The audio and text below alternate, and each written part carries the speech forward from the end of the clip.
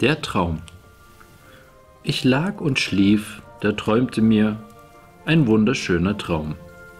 Es stand auf unserem Tisch vor mir ein hoher Weihnachtsbaum und bunte Lichter ohne Zahl, die brannten ringsumher, die Zweige waren allzumal von goldenen Äpfeln schwer. Und Zuckerpuppen hingen dran, das war mal eine Pracht, da gab's, was ich nur wünschen kann und was mir Freude macht.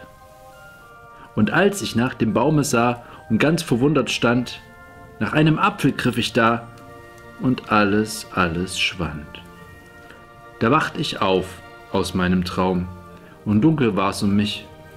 Du lieber schöner Weihnachtsbaum, sag an, wo find ich dich? Da war es just, als rief er mir, du darfst nur artig sein. Dann steh ich wiederum vor dir, jetzt aber schlaf nur ein. Und wenn du folgst und artig bist, dann ist erfüllt dein Traum, dann bringt dir der heilge Christ den schönsten Weihnachtsbaum.